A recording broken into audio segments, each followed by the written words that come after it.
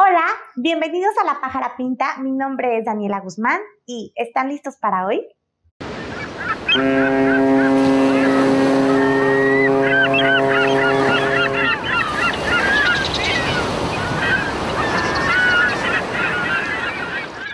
Mantra es una banda de rock psicodélico que experimenta con otros géneros y ritmos como es el post-punk, el blues, el rock alternativo y el folclore mexicano. Se formó a finales del 2020 por Ramón Fonseca, vocalista y guitarrista, Carol Herrera, bajo y voz.